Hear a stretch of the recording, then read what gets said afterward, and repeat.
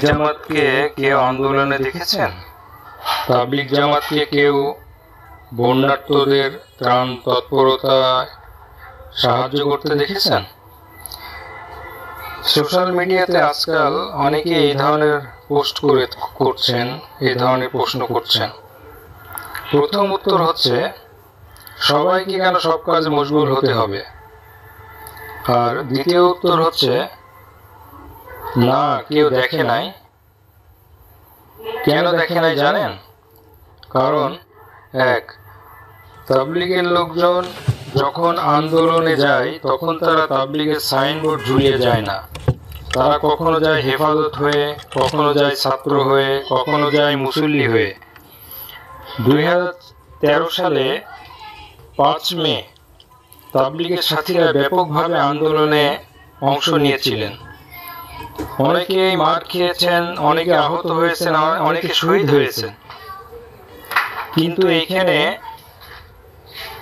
তিনি যে তাবলিগ করেন এটা কোথাও উল্লেখ নাই। এমনিভাবে বৈষম্য বিরোধী আন্দোলনে অনেক তবলিগের সাথে শরিক হয়েছেন গুলি খেয়েছেন আহত হয়েছেন। এখানেও তবলিগের কোনো সাইনবোর্ড লাগানো হয় নাই। দুই, তাবলিগের লোকেরা ছবি, ভিডিও প্রচার বিমুখ।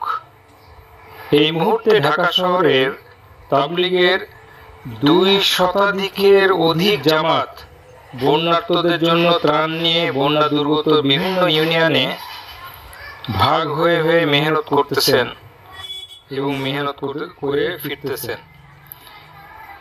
তিন তাবলিগের সাথীদের অনেকেই এবার যতটুকু তাবলিগের ত্রাণ তৎপরতায় দান করেছেন তার চেয়ে অনেক বেশি তারা আসুন্না ফাউন্ডেশনে ডোনেট করেছেন। কারণ তারা আসুন্না এই কাজের আসুন্নাহকে এই কাজের বেশি উপযুক্ত মনে করেছেন।